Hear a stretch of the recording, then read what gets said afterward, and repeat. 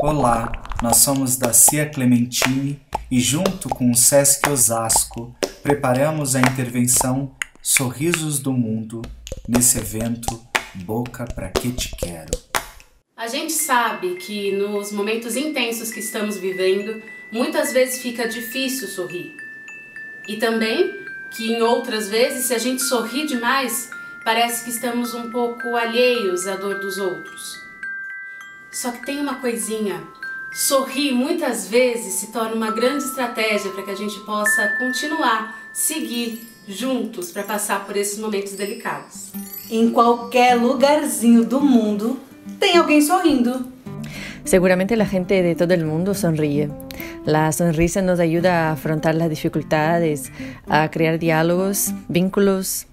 Vamos a sonreír todos. Ähm, ich spreche von Berlin und ich liebe es zu lachen und mich am kalten Tag warm zu machen. Seja velho, seja novo, criança, adulto, alto, baixo, magro, gordinho, é, preto, branco, amarelo, as pessoas estão sempre sorrindo. E você? O que te faz sorrir? É, o que te faz sorrir? Nós perguntamos por aí: o que te faz sorrir? E nós recebemos várias respostas.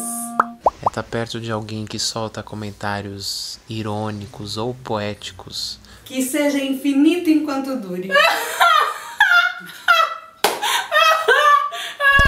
Sorvete me faz sorrir.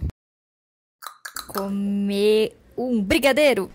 A minha bicicleta que eu ganhei era mais felicidade que eu ia pra, pra ficar aprendendo nela. テレビ番組や映画、劇場などを見ているときに笑います。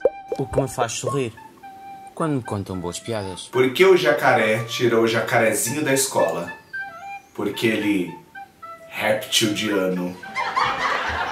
O que a galinha foi fazer na igreja? Assistir a missa do galo. Atualmente, a gente até já consegue reconhecer um sorriso mesmo através da máscara, seja por um olhar, por uma piscadinha ou pelo som.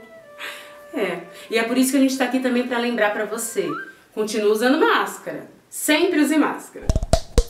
Esse foi o nosso primeiro capítulo dessa intervenção Sorrisos do Mundo. E agora eu te pergunto: o que é que te faz sorrir?